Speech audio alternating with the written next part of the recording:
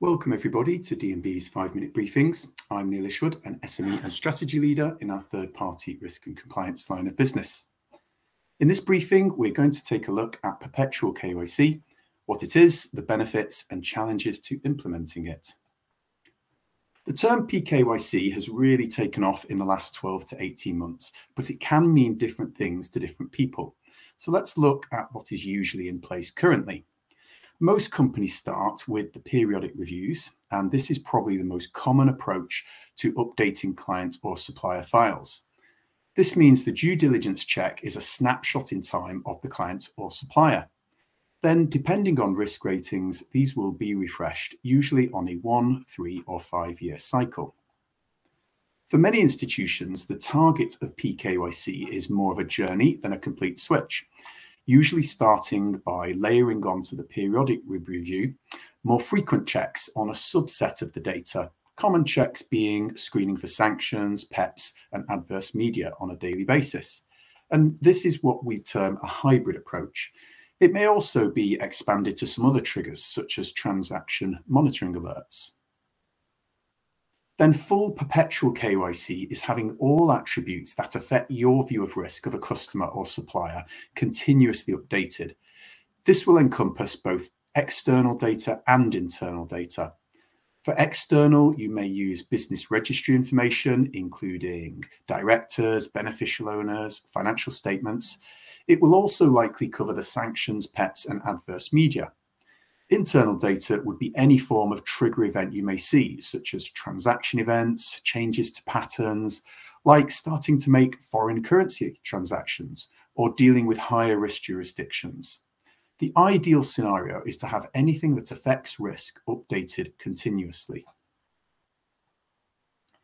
Let's look at the main reasons why firms are looking to move to this operating model. For the majority, this breaks down into three main benefits.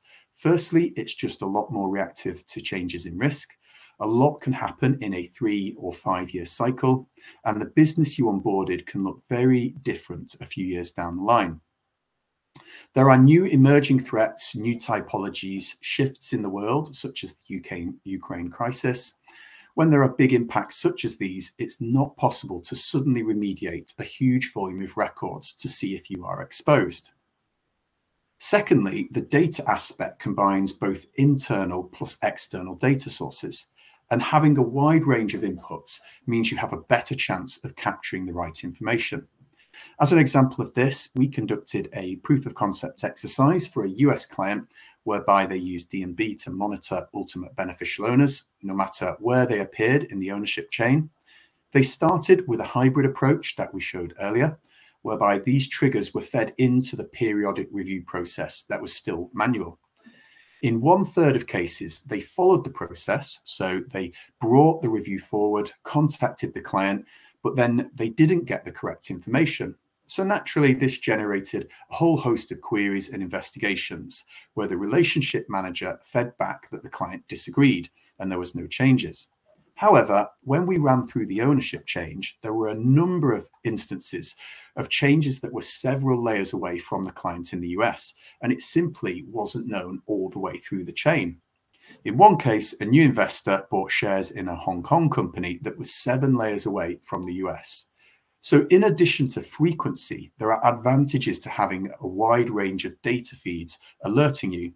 Otherwise, you could be blind to new risks being introduced. And lastly, it can bring resource efficiency. The term we have been using for this aspect is right sizing your CDD program. You can expand and spend more time on the cases that have the most change and present the highest risk, and then save time repapering files that have no change or manually documenting changes that don't actually affect your risk viewpoint. So, why isn't everyone doing this already?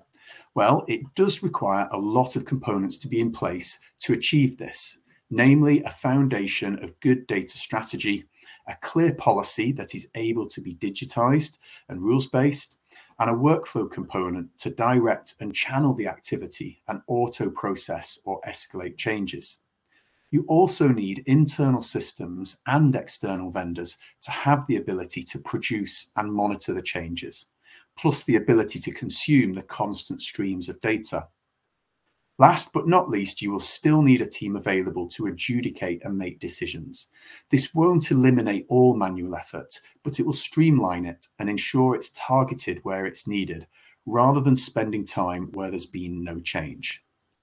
Overall, many businesses see the value and ROI in moving to this method, and many are already on the path towards full PKYC. So thanks for listening, and if you have any questions in these areas, please contact us using the details on screen.